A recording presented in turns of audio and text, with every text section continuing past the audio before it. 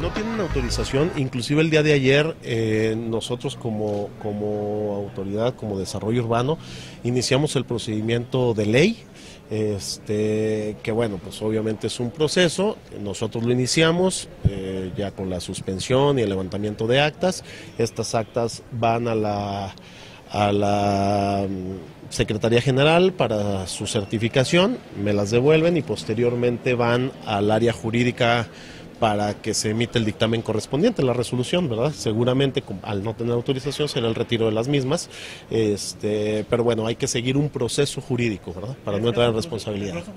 No, bueno, obviamente el proceso jurídico se tiene que dar la... Eh, el derecho de réplica, digamos, de los vecinos para que vengan a exponer sus cosas ya cuando inicia este procedimiento jurídico este, y eh, se con todos los elementos necesarios, el área jurídica determinará qué es lo que se tiene que hacer.